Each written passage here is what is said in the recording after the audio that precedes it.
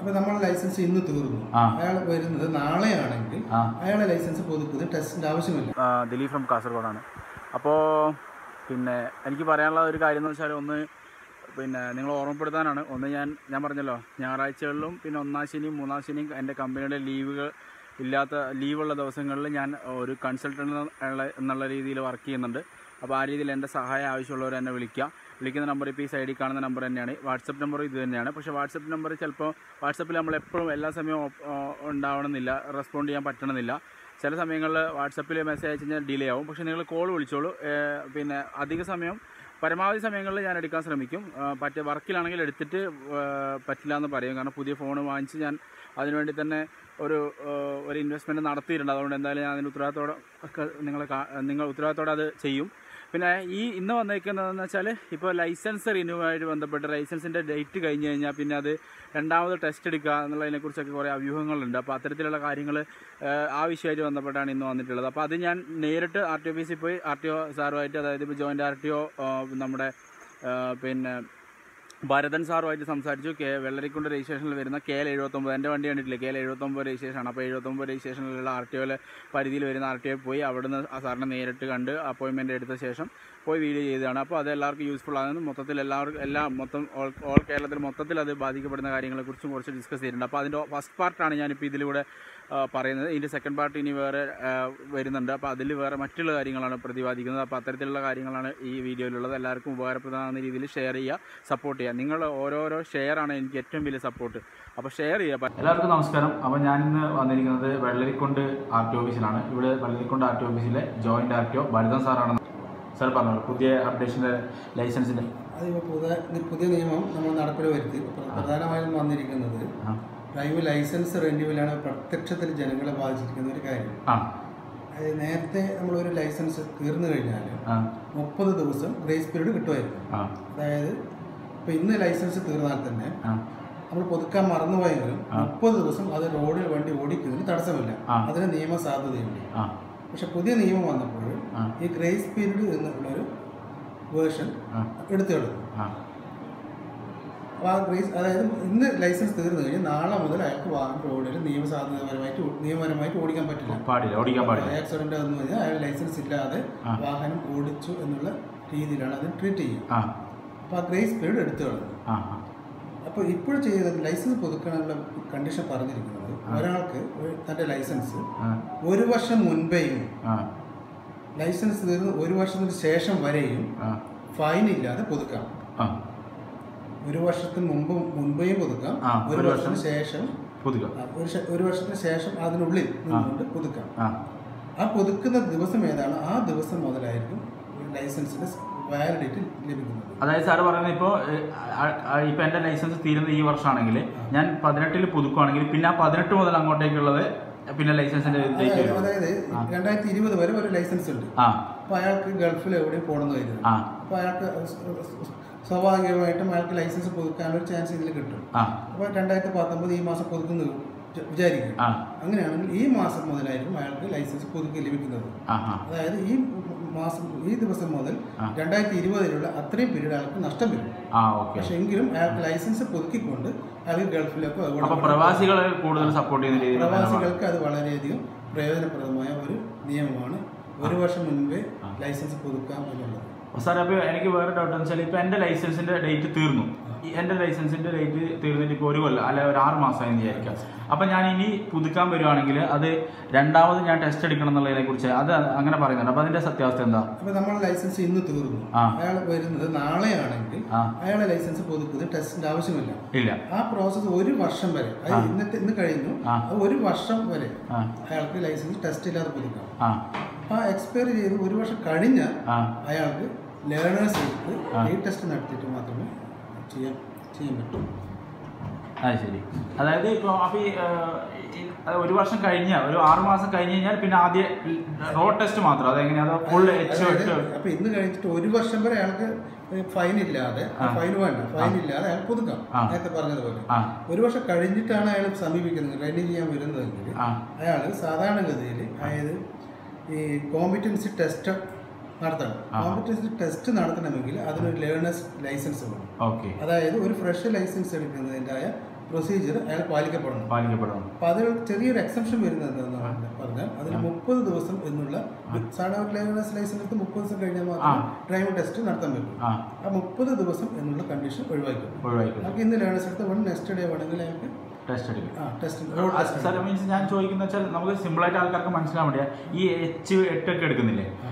രീതിയിൽ തന്നെ ടെസ്റ്റ് ചെയ്യണോ അതോ റോഡ് ടെസ്റ്റ് മാത്രമാണോ? ഇതിന് റോഡ് ടെസ്റ്റ് മാത്രം മതി. റോഡ് ഇന്നത്തെ നിർദ്ദേശപ്രകാരം റോഡ് ടെസ്റ്റ് മാത്രമാണ് എല്ലാ കേരളത്തിലും നടക്കും അതെ സിഗ്നൽസ് എല്ലാം കാണിച്ചിട്ടുള്ള അതുപോലെ റോഡ് ടെസ്റ്റ് റോഡ് ടെസ്റ്റ്. അതുപോലെ മുപ്പത് ദിവസം എന്നുള്ള കണ്ടീഷൻസും അതിൽ ഒഴിവാകും പക്ഷേ അയാൾ ലേണേഴ്സ് മസ്റ്റാണ് ലേണേഴ്സ് നിർബന്ധമായിട്ട് റെന്യൂ റെന്യൂവലിനുള്ള ഫൈനും കാര്യങ്ങളും അതുപോലെ തന്നെ ഇപ്പൊ നിലവിലുള്ളതുപോലെ തന്നെ അടച്ചിരിക്കണം ശരിക്കും പറഞ്ഞാൽ സാർ അപ്പോൾ അതായത് ഇപ്പോൾ ലൈസൻസ് എടുക്കാൻ വണ്ടി ഉപയോഗിക്കാത്ത ഒരാൾ മറന്നു പോയി കഴിഞ്ഞാൽ അദ്ദേഹം ഈ നിയമങ്ങളൊക്കെ കറക്റ്റായിട്ട് പാലിക്കപ്പെടാൻ യോഗ്യനാണോ എന്നുള്ളത് ഒന്നുകൂടെ ടെസ്റ്റ് ചെയ്യുന്നതാണ് ശരിക്കും പറഞ്ഞാൽ അപ്പോൾ നമ്മൾ മനസ്സിലാക്കേണ്ട പഴയ വർഷം വണ്ടി ഉപയോഗിച്ചിട്ടില്ല എന്നുള്ള കൺസെപ്റ്റിലായിരിക്കുമല്ലോ അങ്ങനെ ഒരു നിയമം അതെ അതെ അതെ ഉപയോഗിക്കുന്ന ആളാണ് അത് അതിനെപ്പറ്റി എപ്പോഴും ബോധവാനായിരിക്കില്ല അതെ, അതെ. ബോധവാനായിരിക്കും. അതെ അതെ ആ ബോധവാൻ ഇല്ലാതെ ഉപയോഗിച്ചില്ല എന്നുള്ള കൺസെപ്റ്റിലായിരിക്കും അങ്ങനെ ഒരു നിയമം ഉണ്ടാക്കുന്നത്.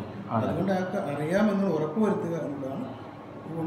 ഒന്നുകൂടെ ടെസ്റ്റ് ചെയ്യുന്നത് സാർ, പിന്നെ ഇതൊക്കെ റോഡ് സേഫ്റ്റിയായിട്ട് ബന്ധപ്പെട്ട ബന്ധപ്പെട്ട കാര്യങ്ങളാണ്. ഉപയോഗിക്കുന്ന ആൾ വെറുതെ പുതിയ കൊടുത്തിട്ട് കാര്യമില്ല. വണ്ടി പിന്നെ ശരിക്കും ഉപയോഗിക്കുന്നുണ്ടോ ഓടിക്കാൻ അറിയുന്നുണ്ടോ ഒന്നുകൂടി ടെസ്റ്റ് ചെയ്യാം. അത് കുഴപ്പമില്ല. റോഡ് സേഫ്റ്റിയായിട്ട് ബന്ധപ്പെട്ട ഒരു കാര്യം കൂടിയാണ്.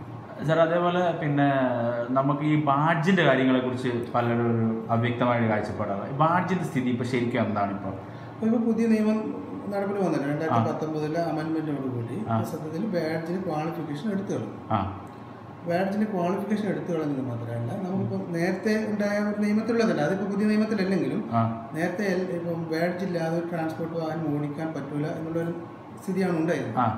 എന്നാൽ ഈയിടെ ഉണ്ടായ സുപ്രീം കോടതി വിധി പ്രകാരം എൽ എം വി ലൈസൻസ് ഓടിക്കുന്നതിന് ട്രാൻസ്പോർട്ട് ബാഡ്ജിന്റെ ആവശ്യമില്ല. പ്രത്യേകിച്ച് ട്രാൻസ്പോർട്ട് വാഹനം ഓടിക്കാനുള്ള ഓതറൈസറിന് ആവശ്യമില്ല. അത് എൽ എം വി കാറ്റഗറിയിൽ വരുന്ന വാഹനം എൽ എം വിക്ക് മേലെ വരുന്ന വാഹനങ്ങൾക്ക് മാത്രമേ ഓതറൈസേഷൻ ട്രാൻസ്പോർട്ട് ഇപ്പൊ സൈലോ ടാക്സി അല്ലെങ്കിൽ ഇന്നോവ ടാക്സി ഒക്കെ ഓടിക്കുന്നതിന് സാധാരണ നമ്മുടെ ലൈസൻസ് മാത്രം മതി. ഫോർ നോട്ട് സെവൻ പോലും ഓടിക്കുന്നതിന് ആവശ്യം ബാഡ്ജിന്റെ ആവശ്യമില്ല അതായത് ഏഴായിരത്തി അഞ്ഞൂറ് L M V R W വെച്ചിട്ടാണ് നിശ്ചയിക്കുന്നത്. അപ്പോൾ ആ എൽ എം വി കാറ്റഗറിയിൽ വരുന്ന വാഹനങ്ങൾക്ക് ബാഡ്ജ് ആവശ്യമില്ല. അപ്പോൾ അതിനുശേഷം medium വെഹിക്കിളോ goods medium goods vehicle medium passenger vehicle അല്ലെങ്കിൽ ഹെവി പാസഞ്ചർ ഹെവി ഗുഡ്സ് ഒക്കെ വരുന്നുണ്ടെങ്കിൽ അതിന് ബാഡ്ജ് വേണം. പക്ഷേ ഈ പുതിയ നിയമത്തിൽ അത് ബാഡ്ജ് എടുക്കുന്നതിന് ക്വാളിഫിക്കേഷൻ നേരത്തെ എട്ടാം ക്ലാസ് പാസ്സാവണം. അപ്പോൾ ആ കണ്ടീഷൻസ് എടുത്തു തരണം. ഓക്കെ. ഒരാൾക്ക് പക്ഷേ അത് പാസ്സാവണം. ഹെവി എടുക്കണമെങ്കിൽ അയാൾക്ക് ബാഡ്ജ് വേണം. അല്ലെങ്കിൽ ട്രാൻസ്പോർട്ട് വാഹനം ഓടിക്കുന്ന ഓതറൈസിങ് അയാൾക്ക് ആവശ്യം. അതായത് ഇപ്പോൾ വേറൊരു സംശയം സാർ ഇപ്പോൾ നമ്മുടെ ഹെവി ലൈസൻസ് ഉള്ള ഒരാൾ അതേ ഇതുപോലെ റിന്യൂ ചെയ്യാൻ വിട്ടുപോയി. അപ്പോൾ ആ റിന്യൂ ചെയ്യാൻ വിട്ടുപോയ ആൾ വീണ്ടും ടെസ്റ്റ് എടുക്കേണ്ടി വരും. ഇതേ പ്രോസസ്സ് ചെയ്യണം. ഒരു വർഷം കഴിഞ്ഞതാണെങ്കിൽ. അയാൾ ലേണ അതിന് ലേണേഴ്സ് എടുത്ത് വീണ്ടും ഹെവി ടെസ്റ്റ് വണ്ടി ഓടിച്ച് കാണിക്കണം. വണ്ടി ഓടിച്ച് കാണിക്കണം ഓക്കെ. അതിന്റെ അത് ശരിക്കും നമ്മൾ സാധാരണ പൊതുജനങ്ങളുടെ ഇടയിൽ വെച്ചാൽ ഇത് എം ഡി ഡി എന്തെങ്കിലും ഒരു ബുദ്ധിമുട്ടിക്കുന്ന നിലപാടെടുക്കുക എന്നുള്ള രീതിയിൽ ചിന്തിക്കുന്നുണ്ട്. പക്ഷേ അപ്പം അതിന് നമുക്ക് കറക്റ്റായിട്ടുള്ള റീസൺ ഉണ്ടല്ലേ? അതായത് വണ്ടി എടുക്കാൻ ഒരു വർഷമായിട്ട് ഉപയോഗിക്കാത്ത ഒരാളാണെങ്കിൽ തീർച്ചയായും രണ്ടാമത് ടെസ്റ്റ് എടുത്ത് കാണിക്കണം എന്നുള്ളത് അത് നിയമമാണ്. നിയമമാണ്. അതൊരു ഡിപ്പാർട്ട്മെന്റ് എടുക്കുന്ന തീരുമാനമാണ്. അതെ, അതെ. അത് അല്ലെങ്കിൽ ഒരു സ്റ്റേറ്റോ എടുക്കുന്ന തീരുമാനമാണ്. അപ്പൊ അത് നിയമത്തിൽ പുതിയ അമെന്റ്മെന്റ് വന്നപ്പോഴുള്ള തീരുമാനം. നേരത്തെ അത് അഞ്ചു വർഷമായിരുന്നു. ഇന്നിപ്പോ ഒരു വർഷം എന്നുള്ളത് നേരത്തെ അഞ്ചു വർഷം മുപ്പത് ദിവസമായിരുന്നു. ആ മുപ്പത് ദിവസം എന്ന് പറഞ്ഞാൽ ഗ്രേസ് പീരീഡിന്റെ ആണ് കൂടുതൽ വരുന്നത്. അഞ്ചു വർഷം എന്നാണ് പറഞ്ഞത്. പക്ഷെ നേരത്തെ മുപ്പത് ദിവസം ഗ്രേസ് പീരീഡ് ഉണ്ടായിരുന്നു ഒരു ലൈസൻസിന് അപ്പോൾ ആ ഗ്രേസ് പീരീഡ് കഴിഞ്ഞിട്ടുള്ള അഞ്ചു വർഷം. അങ്ങനെയാണ് എക്സ്പയറി ഡേറ്റ് മുതൽ അഞ്ചു വർഷവും. മുപ്പത് ദിവസം കഴിഞ്ഞ ലൈസൻസ് പുതുക്കണമെങ്കിൽ ഇതുപോലത്തെ റീടെസ്റ്റ് ചെയ്യണമായിരുന്നു. ആ. പ്രോസസ്സ് തന്നെയാണ് ഇപ്പോൾ ഒരു വർഷം കഴിഞ്ഞ് പുതുക്കാൻ വരുന്ന ഒരാൾ ചെയ്യേണ്ടി വരുന്നത്. ഓക്കെ. അപ്പോൾ നേരത്തെ അഞ്ച് വർഷമായത് കുറേ ലോങ് പീരീഡ് ആയിരുന്നു. അപ്പോൾ അത്രത്തോളം ആളുകളെ ബാധിക്കില്ലായിരുന്നു. ഇത് ഒരു വർഷം എന്ന് പറയുന്നത് പെട്ടെന്ന് ഒരു നിയമം വന്നപ്പോൾ എല്ലാവർക്കും അതൊരു ചെറിയ ബുദ്ധിമുട്ട് അനുഭവപ്പെട്ടു. എന്നുള്ളൊരു സത്യമാണ്. അത് ഇപ്പോഴേതാണ്ട് ലെവലായി എല്ലാവർക്കും ബോധ്യപ്പെട്ട് കഴിഞ്ഞു. അതെ. അതിന് തുടക്കം ഇംപ്ലിമെന്റ് ചെയ്യുമ്പോൾ കുറച്ച് പേർക്ക് ഒരു ഞെട്ടലൊക്കെ ഉണ്ടായി ഫൈനും കാര്യങ്ങളും.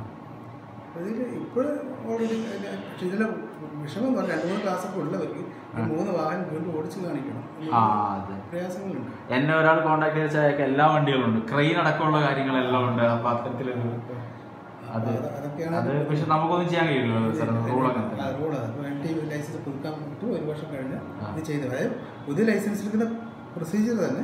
അതിൽ ഈ പറഞ്ഞ പോലെ മുപ്പത് ദിവസം വെയിറ്റ് ചെയ്യേണ്ട. അപ്പൊ സാറിന് എല്ലാവരോടും ഇത്തരത്തിലുള്ള നമ്മളെ അല്ലെങ്കിൽ വാഹനത്തിന് ആളുകളോട് ലൈസൻസിന്റെ ഒന്ന് ഡേറ്റ് ഒന്ന് ശ്രദ്ധിക്കണം എന്നുള്ള രീതിയിൽ ഒരു മെസ്സേജ് സാറിന് എന്താണ് ഈ ഒരു കാര്യത്തെ മെസ്സേജ് കൊടുക്കാറുള്ളത്? അല്ല സാധാരണ നമ്മൾ ഇപ്പോൾ ഞാനിപ്പോൾ ഇൻഷുറൻസ് ആണെങ്കിൽ നമ്മളൊരു മാസം ഞാൻ ചെയ്യാൻ സാധാരണ അപ്പോൾ ഞാൻ ഇൻഷുറൻസ് ആ ഒരു മാസം ഓർമ്മിക്കും. ഇന്ന മാസമാണ് എന്റെ ഇൻഷുറൻസ് തീരാൻ പറഞ്ഞത് ഓർമ്മിക്കും. അപ്പോൾ നമ്മൾ ആദ്യം ഫസ്റ്റ് ഡേ നോക്കി കഴിഞ്ഞാൽ നമുക്കറിയാലേ ആ മാസം ഇന്ന ദിവസമാണ് തീരുന്നത് അപ്പോൾ അതാണ് ഞാൻ ചെയ്ത ടെക്നിക്ക് മാസം ഓർമ്മിക്കും ദിവസം ചിലപ്പോൾ മെമ്മറിയിൽ വേണമെന്നില്ല. പക്ഷെ മാസം ഓർമ്മിക്കുന്നതിന് തടസ്സമില്ല. അതുപോലത്തെ ലൈസൻസ് ആയാലും ഒരു വർഷം ആ. ഒരു മാസം ഓർമ്മിക്കുക. ഡേറ്റ് ഫുൾ ആയിട്ട് വേണമെന്നില്ലല്ലോ അപ്പോൾ ആ മാസത്തിന്റെ ഫസ്റ്റ് ഡേ നമ്മൾ നോക്കുകയാണെങ്കിൽ. ചെയ്യാൻ പറ്റുമല്ലോ. അല്ലെങ്കിൽ ഒരു മാസം നേരത്തെ ചെയ്യാം. അത് ഓരോരുത്തരും ഓരോരുത്തർ ടെക്നിക്ക് മൈൻഡിൽ വരുന്ന കാര്യങ്ങളാണ്. ഞാനിപ്പം തീരുന്ന മാസം വർഷം ഓർമ്മിക്കുന്നതിന് പകരം തലേ മാസം ഓർമ്മിക്കും. തലേ മാസം വർഷം ഓർമ്മിക്കുകയാണ്. വളരെ സുഖകരമായി. അപ്പോൾ നെക്സ്റ്റ് നെക്സ്റ്റ് മന്ത് പുതുക്കാൻ പറ്റും അപ്പോൾ അത് നമ്മൾ ആ മാസം വർഷം ഓർമ്മിക്കുക ഇൻഷുറൻസ് ആണ് ഞാൻ ചെയ്യുന്നത്. അങ്ങനെ ഒരു കുഴുക്കോഴി കണ്ടുപിടിച്ച് അതിന് തക്കതായ രീതിയിൽ പരിഹരിക്കുന്ന രീതിയിലൊരു മനോഭാവത്തിലേക്ക് എല്ലാവരും മാറി വരണം അപ്പോൾ അങ്ങനെ ഒരു മെമ്മറി ഉണ്ടാക്കാം അതെ. കറക്റ്റ് ഡേറ്റ് നമ്മുടെ മെമ്മറിയിൽ വരില്ലെങ്കിലും അറ്റ്ലീസ്റ്റ് നമുക്ക് മാസം ഓർമ്മ. ആ. മാസം ഓർമ്മ തലേ മാസം നമ്മൾ വേണമെങ്കിൽ ജസ്റ്റ് ഇൻഷുറൻസ് നോക്കി കഴിഞ്ഞാൽ നമുക്ക് അതിനനുസരിച്ച് പുതുക്കാൻ വരും. അപ്പൊ ആ മറവി എന്ന് പറയുന്നത് അത് വരില്ല. ഓക്കെ. നമ്മൾ ഒന്നാമത് നമ്മളത് ഇതൊക്കെ നിയമത്തിനനുസരിച്ച് ആ അതിൽ അതിൽ ആ ബോധത്തോടു കൂടി ജീവിക്കുന്ന ആളുകൾക്കാണ് ഇതൊക്കെ ചെയ്യാൻ പറ്റുക. അപ്പൊ നിയമം അതിനെ പ്രധാനമായി കാണുന്നവർ ഇതൊന്നും ചെയ്യില്ല. അതെ. നമ്മളിപ്പോൾ ആ നിയമത്തിനനുസരിച്ച് കൊണ്ട് ജീവിക്കും അപ്പോൾ അതിനെ പ്രവർത്തിച്ചാൽ നമുക്ക് ആരുടെ മുന്നിൽ തലവെടുക്കേണ്ടി വരില്ല. ഒരു ലോ ഓഫീസറുടെ മുമ്പിൽ നമ്മൾ തലവെടുക്കേണ്ടി വരില്ല. നമ്മൾ സാധാരണ R T office R T ഓഫീസിൽ അല്ലെങ്കിൽ പോലീസിനെ ഭയപ്പെടുന്നത് എന്തൊരു ഭയപ്പെട്ട കാര്യം? എല്ലാ ഡോക്യുമെന്റ്സും കറക്റ്റാണ് നമ്മൾ ചെയ്യുന്ന പ്രവൃത്തി കറക്റ്റാണ് നമ്മളതിനെ ഒരു ലോ ഓഫീസറിന് മുന്നിൽ ഭയപ്പെടേണ്ട കാര്യമില്ല.